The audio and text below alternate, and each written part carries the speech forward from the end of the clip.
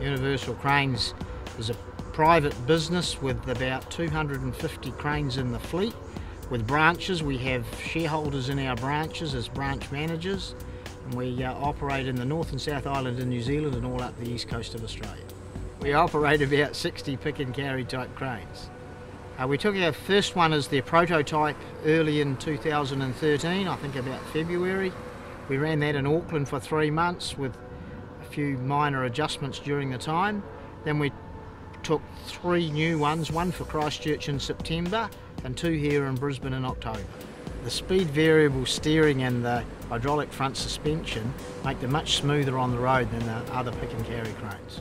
And the operators prefer them because they've got nice easy access, they've got good storage facilities around them, they've got a carry deck on the side and most importantly they've got a fridge in the cabin.